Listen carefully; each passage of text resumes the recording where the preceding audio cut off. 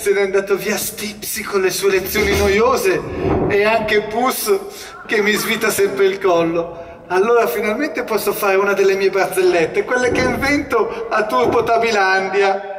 Oggi venendo qua a Porto Recanati ho inventato questa barzelletta. Ci sono due arance attaccate ad un albero. Un'arancia sta per cadere e chiede all'altra arancia: Ti prego, aiutami! Lei: Arranciati! Qui sta benissimo. Ciao. Ehi, Tricky Whisky!